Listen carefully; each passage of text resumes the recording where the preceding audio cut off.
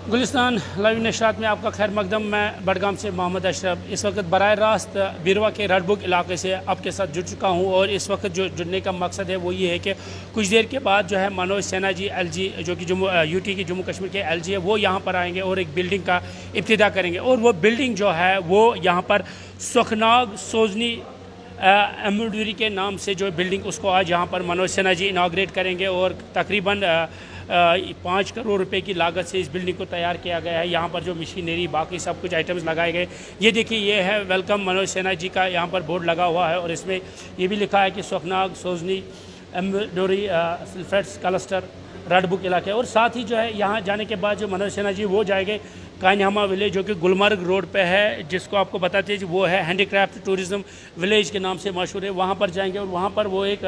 वहाँ पर है इनाग्रेशन और एग्जीबिशन कम आर्टिज़न के साथ वो बात भी करेंगे। तो यहाँ जाने के बाद वो वहाँ जाएँगे और लोगों से मिलेंगे, वहाँ के आर्टिज़न से बात करेंगे। और जो ये बिल्डिंग है, करीबन पाँच करोड़ रुपये की लागत से ये बिल्डिंग तैयार की गई है और इस बिल्डिंग का मकसद यही है कि जो इस इलाके के जो आर्टिज़न है, वो यहाँ पर आएँगे। मुख्तलिफ़ किस्म के जो यहाँ पर सीख जो है, सीखेंगे। आजकल की जिससे नई नई टेक्नोलॉजी को सीखने के लिए यहाँ सब ये बिल्डिंगें लगाई गई है। तो अब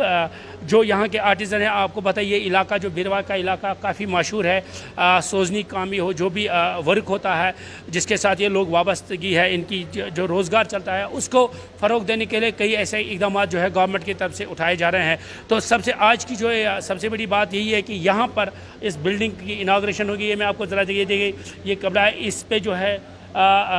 डिज़ाइन किए जाते हैं, उसके बाद जो है, जो आर्टिज़न होते हैं, वो आर्टिज़न जाते हैं और उन पर काम करते हैं। तो यहाँ पर सिकिल के साथ साथ इन लोगों के रोज़गार का भी एक